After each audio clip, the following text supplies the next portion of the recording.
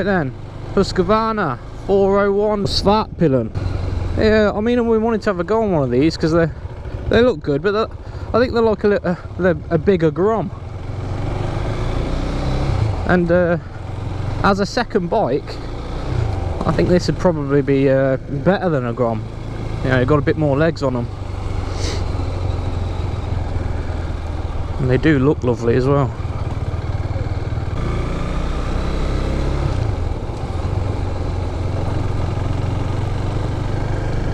Yeah, you can already tell it's it is it's it's like it's like being on a big Honda Grom.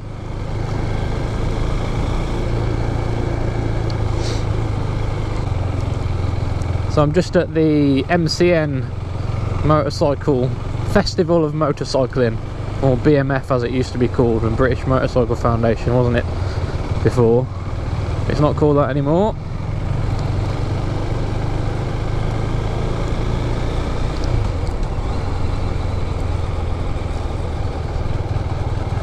Yeah, I think one of these one of these would be much better.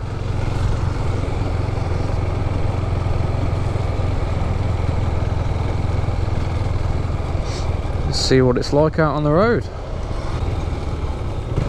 Remember how much this was? It was about what, five or six grand, brand new.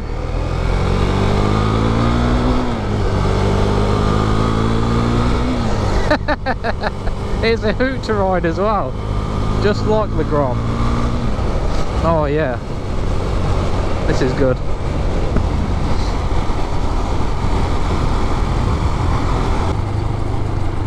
Oh, somebody's crash. Is that a bike crash?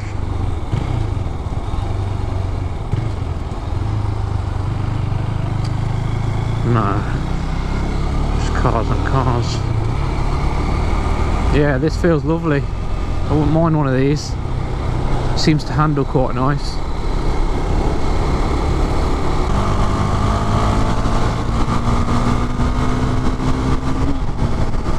That's it. Top gear. How am I supposed to keep up and stay within the speed limits? They give you this, uh, no, I'm not even going to go into it. Not even going to go into it. Got myself into enough trouble lately. It's more suited to the back streets, I think, and towns. I mean, a little bit more uh, twisty stuff, maybe. And hopefully, that's what we're going to have uh, just now. But it does handle nicely.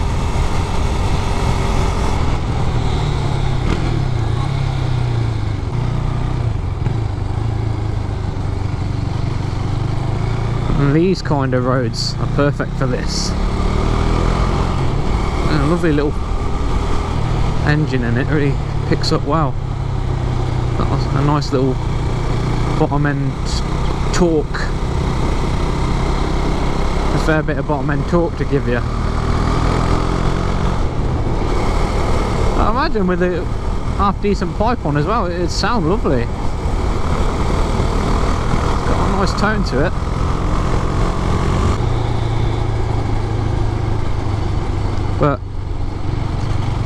It's very uh, it's very forgiving. I mean, just then I was in too high a gear, and that that, that low end torque just lets you just lets you pull through it.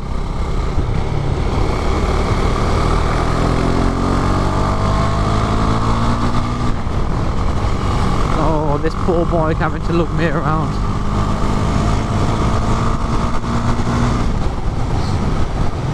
can't see the people behind me at all. These mirrors are useless.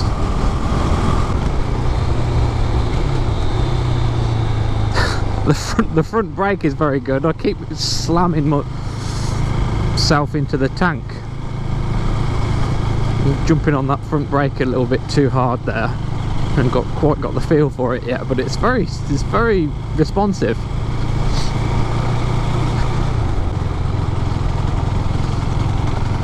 trying to catch a glimpse of myself in the reflection to see what I look like.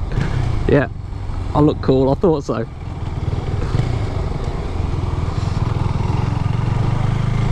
It does make you feel good, it is a nice bike to ride.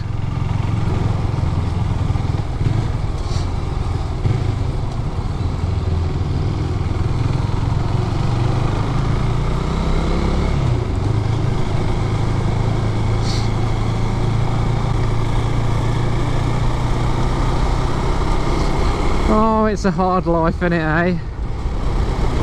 Finding a brand new Husky on a day like this.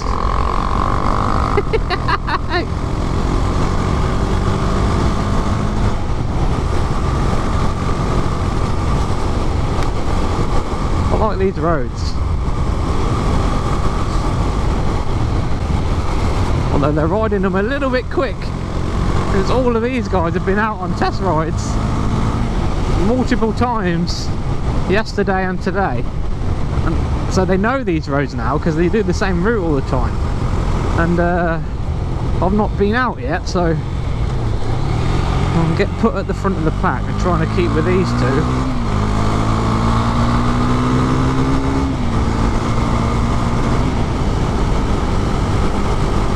first world problems, eh? it is fun. Great fun. Again, I don't like these mirrors much at all.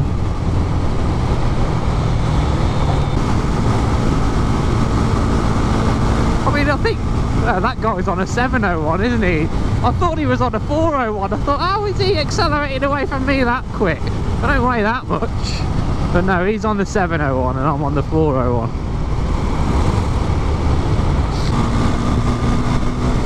I mean, it has got... I mean, when you're in the twisties like this, it's, it's got enough poke. It has got enough poke.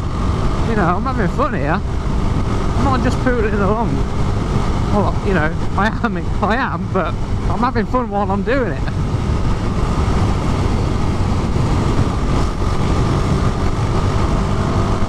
and that's one of the main aspects isn't it that you want from a bike how does it make you feel is it fun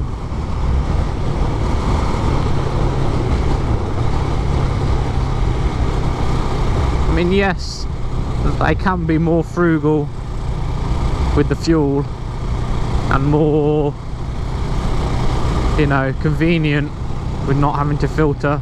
I mean with being able to filter in the traffic so you can commute on it it's often cheaper than buying a car. But it's not always all about that is it? Especially if you know if it's going to be your weekend toy as well. You want it to be fun and this definitely is.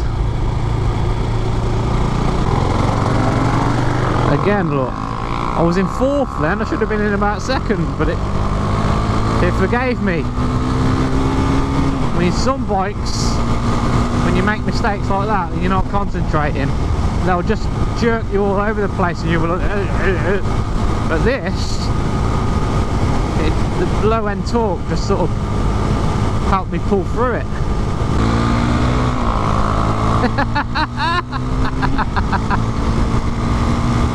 That red light flashing at me. Change up change up.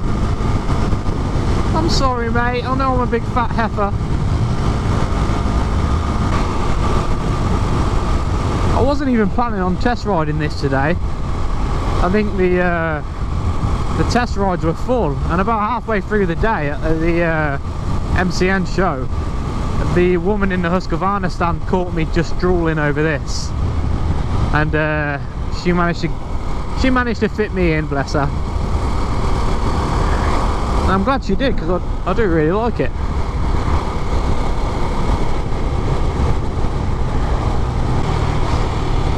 Obviously I couldn't I couldn't really have this as my main bike because I have to commute between cities and so some of the roads that I have to go on well you're saying that? I think it has got the legs. I mean it,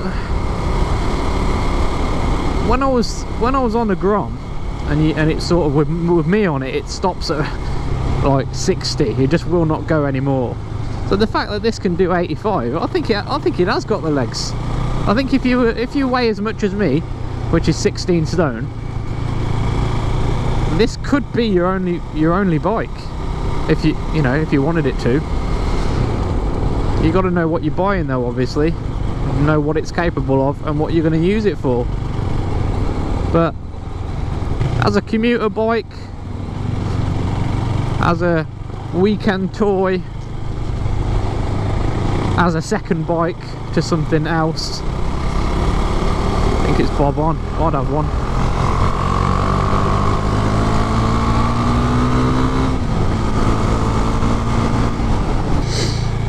Anyway, yeah, overall, overall, it is a fun little bike.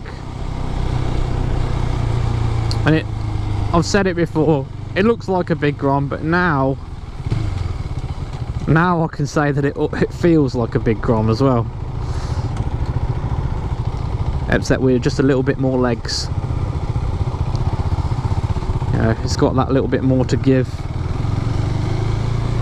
And anyway, that was my little brief encounter with the Husqvarna 401.